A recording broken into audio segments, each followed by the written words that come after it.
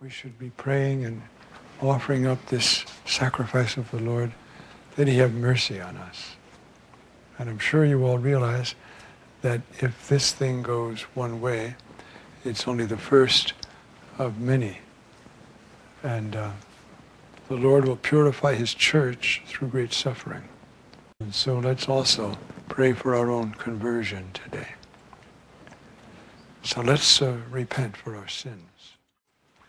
We have in the first reading an example of biblical teaching on intercession. The people have just sinned. They have made a calf out of gold, and they're all worshiping it. And they're saying, These, this is your God who took you out of the land of Egypt. I mean, how insulting could they be? And so God is saying, you know, uh, let me alone. Let my wrath blaze up. And Moses prayed. Now the text we have here is one of his prayers. There's another text where he says the same thing, you see.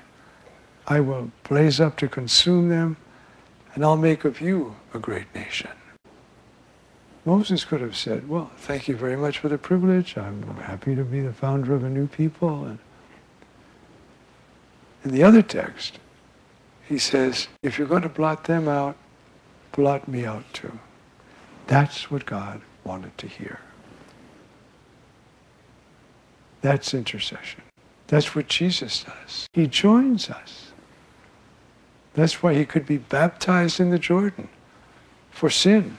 Not his, ours. We just had last Sunday, remember? He who knew no sin, God made sin so that we could become the righteousness of God. So here, then we have this prayer. This one, he's saying, Lord, think of your own reputation. You brought them out. Now they die. Everyone's going to say, God killed him. He brought him out here to kill him. Anything. Any prayer. And what God sees is the heart of this man who's praying like this, so identified with his people. Now we're passing right now through a crisis in this nation. Intercede. Seriously. Take time today to pray. We have a day or so. I don't know when they're actually going to vote. But pray for this poor nation. Something could be imposed upon this nation that would lead it into greater sin. And where there's darkness, there's Satan. Think of our youth. I'm going down to talk to the young people down in Florida. Their lives are just beginning.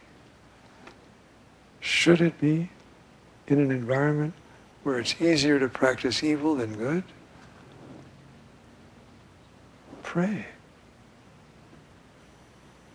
It's very important. And carry this through. As I mentioned, um, the Mass, my intention for the Mass is for this nation today.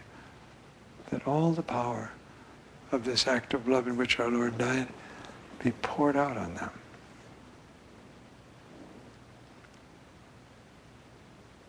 But you see, there's three things in, uh, in intercession.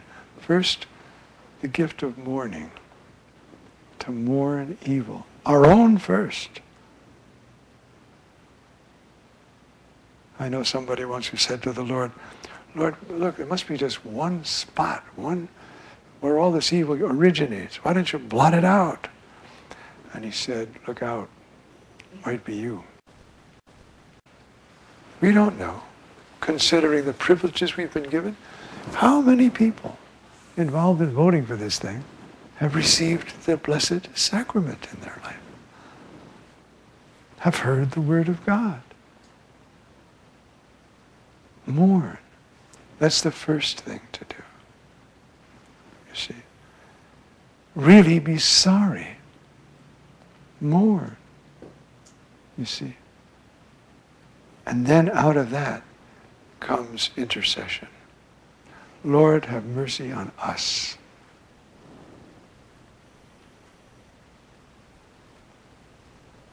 When, when our Lord died, when he went to heaven, he entrusted the whole world to us. And what have we done? After two millennia, how many people really believe in Jesus? How many people are overwhelmed by the example of people who believe in God, love God, obey God, love one another, care for the poor, care for those who don't? Have we overwhelmed them with an example of what the grace of God is really all about? I don't think so.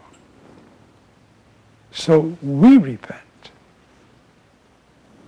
Look out, it might be you. We repent. Now, this is not a guilt trip. This is an invitation to repent in the name, it's hard for us. We're such individualists, you know. We are the church, my friends. Have mercy on us. We just had Daniel the other day, right? Daniel is praying for, Lord, have mercy on those people. Is he? No. Lord, have mercy on us. Our fathers sinned against you. They've made this golden calf. They never were faithful to you. And we're no better than they are. 2,000 years to preach the gospel. And look at the mess. Seriously, in a country founded by people with all their, you know, who wanted to practice their Christian religion in freedom. That's why they came here. And look at us. So you see, it's repentance first. We're not praying for all those sinners out there. We're praying for ourselves. And so it's very important. And this is a crucial weekend. Pray.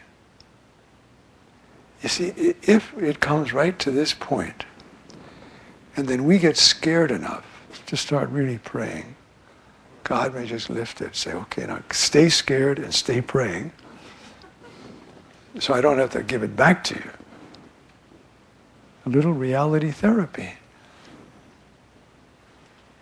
You see? Because this is going to affect us. Close the schools, close the churches, close the, who knows what's going to happen. So maybe we're scared enough to really start praying. That would be such mercy. The church has to be purified. It can't go on like it is. Right? Everybody knows that. Starting with me, the church has to get purified. So, if I really have a conversion, maybe, and we all have one, maybe the Lord will let this happen.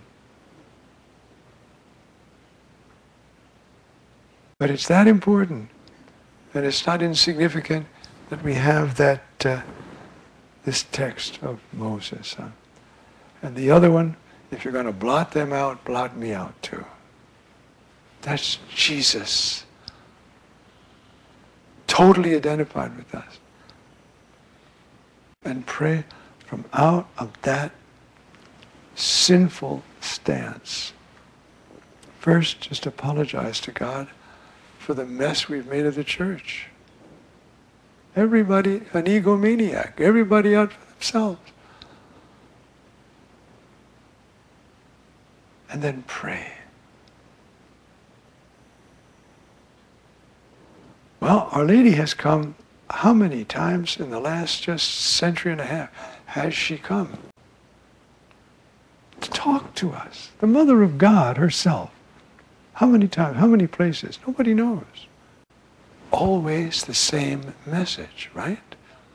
Say the rosary and pray for this poor world. That's another Moses. Huh? Imagine the purity of her prayer. We are her people. She prays for us. And she prays for the whole world, and she comes. And uh, it's all summed up, I think, in this little phrase she said to one of the girls at Medjugorje. The girl had her rosary around her wrist. And Our Lady said, listen, that's not supposed to be a decoration on your wrist. You're supposed to be praying that. That's a good mother, right? But it's true. Let us pray that the Holy Spirit come and touch many hearts and save us from all that could happen and bring hearts back to Him and save the thousands and thousands of young conceived children in the womb of their mothers from abortion and save this nation from sinking into a morass of sensuality. Let us pray.